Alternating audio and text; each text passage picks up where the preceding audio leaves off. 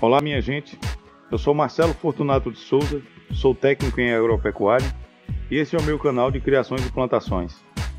Decidi fazer esses vídeos com o intuito de passar o básico sobre criações e plantações para você que tem curiosidade ou quer aprender um pouco mais sobre plantações e criações. E se você tem alguma curiosidade sobre alguma criação ou plantação, deixe nos comentários, valeu? E no vídeo de hoje Vou falar sobre uma das 71 plantas medicinais utilizadas pelo SUS, seus benefícios e contraindicações. As plantas foram organizadas em ordem alfabética pelo nome científico, e essa é a número 1 de 71. A Chileia millefolium. Uso: combate úlceras, feridas e é analgésica. A popular mil folhas é uma planta medicinal também conhecida como milefólio, marcelão, alevante, anador, aquileia, aquileia, atroverã, botão de prata, erva carpinteira, erva dos mil militares, erva dos soldados, levante, marcelão, mil em rama, mil ramas, milho-folha, mil-folhada, milho-fólio, mil-ramos, novalgina, pelo de carneiro, pestana de Vênus, ponta livre, prazer das damas, pronto alívio, salvação do mundo, Yarrow em inglês e Shikao em chinês, dentre outros nomes populares. Benefícios do mil folhas. O mil folhas ajuda a relaxar vasos sanguíneos periféricos, melhorando a circulação.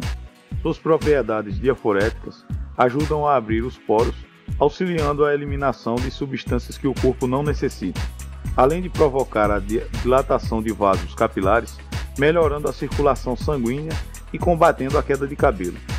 Uma receita antiga indica misturar mil folhas com tabaco e esfregar diretamente no couro cabeludo para retardar a calvície. A sudorese causada pelo milefólio pode ser útil para aliviar os sintomas de febres e constipações. O uso do milfolha juntamente com a flor de sabugueiro e hortelã-pimenta é um velho remédio para combater resfriados. A erva, também conhecida como novalgina, contém várias substâncias anti-inflamatórias, como azulene e ácido salicílico. O mil folhas é usado na medicina popular para controlar o catarro produzido devido a alergias. Na medicina popular, a aplicação direta das folhas frescas no local da ferida ou corte ajuda a estancar sangramentos, formando uma crosta no lugar da aplicação. As folhas frescas colocadas no nariz ajudam a combater hemorragias nasais e amenizam enxaquecas. A inalação da erva, enquanto é fervida, trata a asma e a febre. O vapor do cozimento da folha é usado para tirar a oleosidade da pele e a decocção da planta já foi usada para tratar todos os tipos de ferimentos externos, pele com rachaduras ou mamilos doloridos. É usado em forma de lavagem para eczema, esfregando na pele pode repelir insetos. Compressas com essa erva são indicadas para varizes, em forma de enema ou compressas para tratamento de hemorroidas. A folha fresca mastigada pode aliviar dor de dente em forma de líquido para a limpeza bucal ou garganta inflamada. Também a aplicação direta em picadas de aranha. Contraindicações e efeitos colaterais do milfolha.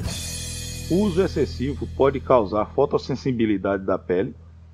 O consumo interno e em abundância pode trazer algum efeito leve psicotrópico, podendo ocorrer mudanças na cor e intensidade da luz ao redor, ou até mesmo causar vertigem e dores de cabeça em algumas pessoas. Não deve ser utilizado durante a gravidez e tampouco na época do nascimento do bebê. Vez pode interferir na placenta. A urina pode ficar um pouco um tom castanho após a utilização da erva. No entanto, isso não é motivo para preocupação. Esse vídeo é um oferecimento de agrestitudo.com.br. Bom, minha gente, se você gostou desse vídeo, clique no joinha e não se esqueça de se inscrever no canal para receber novos vídeos.